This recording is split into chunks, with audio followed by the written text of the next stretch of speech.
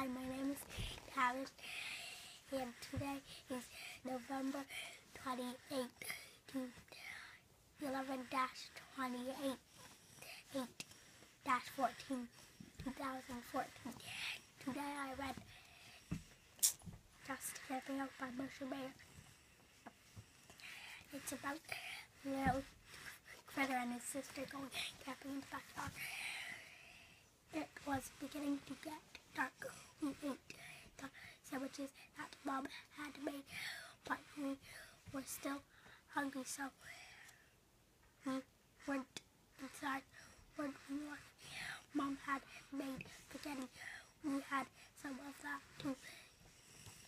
If they, if you want to find out if they go back in the tent,